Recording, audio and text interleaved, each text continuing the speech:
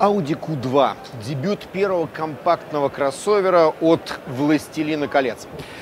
Многие коллеги уже поспешили назвать это ответом на Nissan Juke, мол, новый конкурент возник. Однако, ребят, ну те, кто ходит в магазин Dixie, не ходят в азбуку вкуса и наоборот, хотя яблоки и там, и там выглядят примерно одинаково. Поэтому я бы сказал, что Audi Q2 это скорее конкурент Mercedes GLA на английский манер или GLA, как его называют в Германии.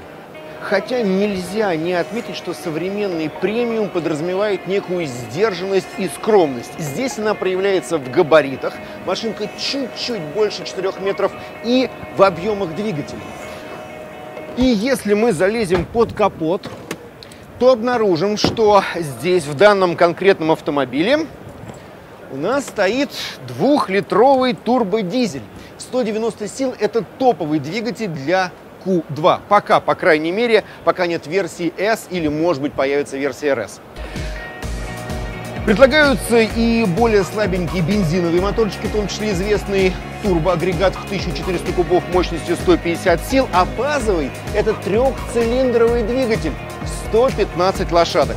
Но при всем при том, повторимся, мы имеем дело с премиумом, поэтому капот у нас открывается сам при помощи ножки, без всяких там подпорочек и подставочек. И это, кстати говоря, деталь немаловажная, потому что премиум в этих самых деталях и кроется. И если мы заглянем в салон, то мы обнаружим тут тоже достаточно много таких интересных фишек, которые, кстати, раньше были присущи автомобилям куда более высокого класса. Помимо уже привычных для таких автомобилей жидкокристаллических приборных панелей, 12-дюймовых дисплеев, мультимедии и навигации, мы здесь можем найти несколько очень интересных фишек, которые, опять же, характеризуют премиальность продукта и уважение к тому человеку, который эту небольшую машинку купит за приличные деньги. Какие, пока не знаем. Видимо, цены будут объявлены во второй половине года, когда начнутся продажи.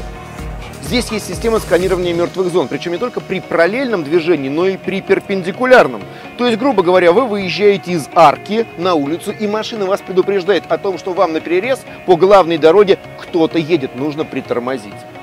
Естественно, здесь есть система автономной парковки, но этим уже сегодня никого не удивишь. Машина умеет читать знаки и, безусловно, умеет экстренно, автономно останавливаться в случае появления пешехода перед капотом. А еще современный премиум – это функциональность. Вот здесь на заднем сиденье я с ростом метр восемьдесят легко помещаюсь.